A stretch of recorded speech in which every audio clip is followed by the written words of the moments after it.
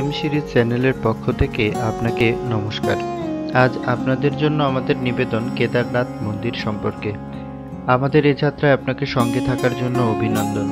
আমাদের ভিডিওগুলো ভালো লাগলে সাবস্ক্রাইব করে বেল বাটনটি প্রেস করে রাখুন আর দেখতে থাকুন আমাদের নতুন নতুন ভিডিওগুলো।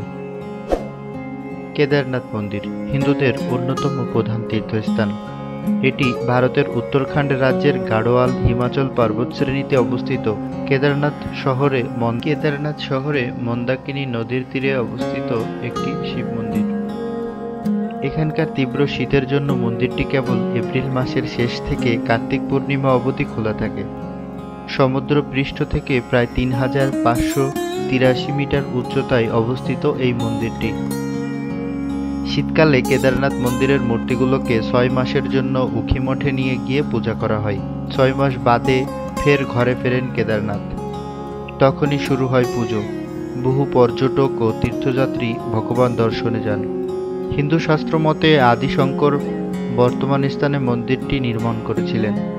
একটি বিখ্যাত জ্যোতির্লিঙ্গের জন্যই এই কেদারনাথ মন্দিরটি জনপ্রিয়।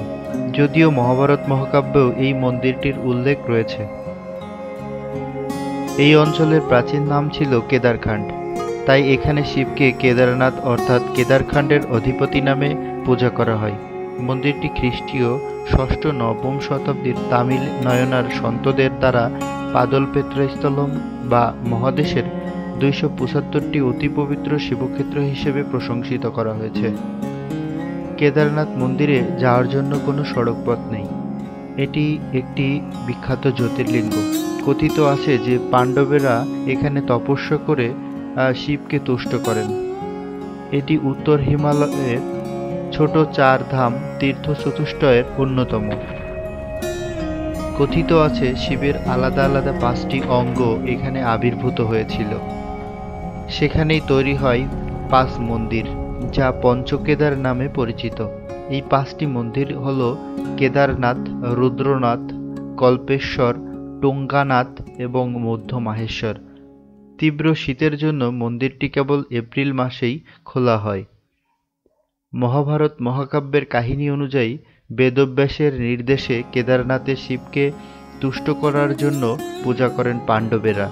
কুরুক্ষেত্র যুদ্ধে তাদের সমস্ত পাপ দূর করার জন্যই তারা কেদারনাথের পূজা করেছিলেন।